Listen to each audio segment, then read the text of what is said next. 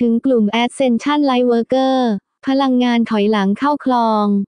ของดาวพุธในปัจจุบันถือเป็นพลังงานที่สำคัญและแม้ว่าจะสิ้นสุดในวันที่ 1 มกราคม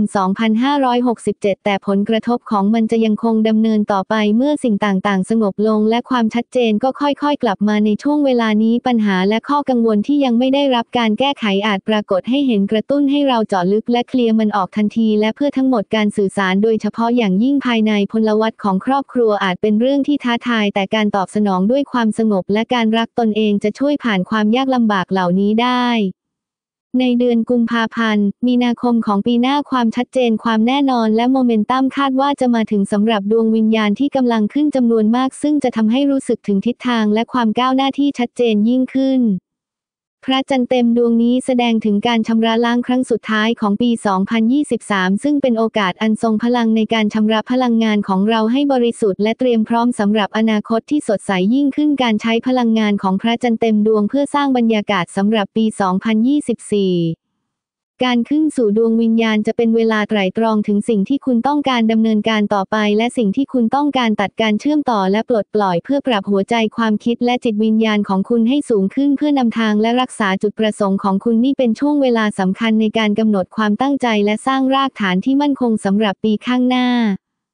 หลังจากช่วงถอยหลังเข้าคลองของดาวพุธสิ้นสุดลง และเมื่อเราเข้าสู่เดือนกุมภาพันธ์และมีนาคมสิ่งต่างๆ จะเกิดขึ้นหลายอย่างความชัดเจนที่เพิ่มขึ้นม่านหมอกแห่งความสับสน และการสื่อสารผิดพลาดที่มักจะมาพร้อมกับการถอยหลังเข้าคลองของดาวพุธจะสลายหายไปทำให้มีความคิดที่ชัดเจนขึ้นตัดสินใจได้ดีขึ้น และเข้าใจในด้านต่างๆ ของชีวิตได้ดีขึ้น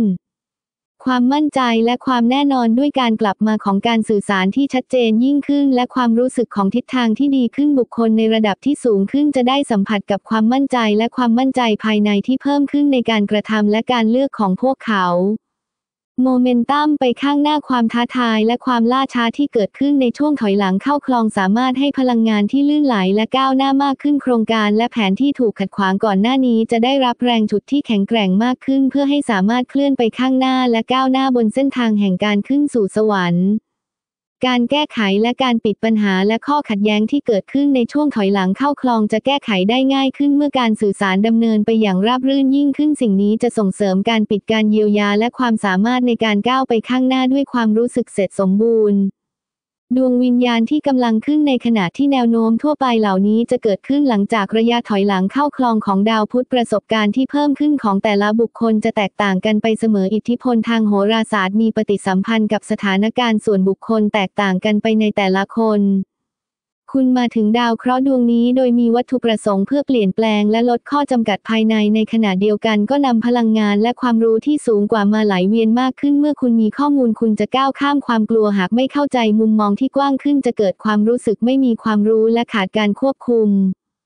สตาร์ซีดพวกคุณแต่ละคนมาถึงด้วยความตั้งใจที่จะปลุกให้ตื่นขึ้นในแง่มุมที่ลึกซึ้งยิ่งขึ้นภายในตนเอง ซึ่งถูกเข้ารหัสไว้ภายใน DNA ของคุณตอนนี้คุณมีสติและกระตือรือร้นตอบสนองต่อการทรงเรียกที่สูงขึ้นนี้ สิ่งนี้ยังอธิบายการแสวงหาของคุณในด้านต่างๆ ของชีวิตด้วย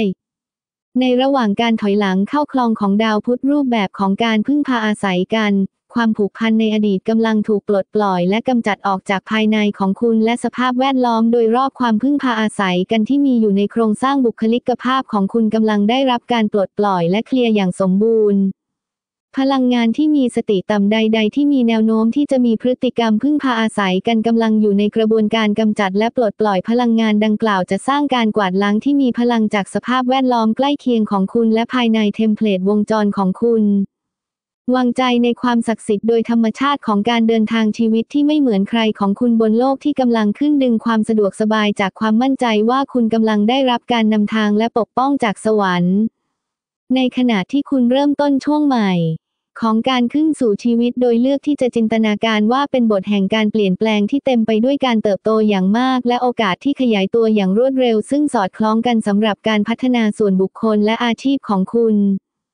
น้อมรับพลังอันล้ำลึกของการเปลี่ยนแปลงโลกครั้งสำคัญนี้ โดยเชื่อมั่นว่าจะนำมาซึ่งประสบการณ์เชิงบวกบทเรียนอันทรงคุณค่า และการเชื่อมโยงที่มีความหมายการรู้ว่าเส้นทางที่เปิดอยู่ตรงหน้าคุณนั้นได้รับการจัดเตรียมไว้จากสวรรค์และมีศักยภาพมหาศาลสำหรับจุดประสงค์ ที่สูงกว่าความสมหวังและความสุขที่แท้จริงของคุณ ถ่ายทอดในบริการเสด็จขึ้นสู่สวรรค์ด้วยความรัก โดย Ascension Lightworker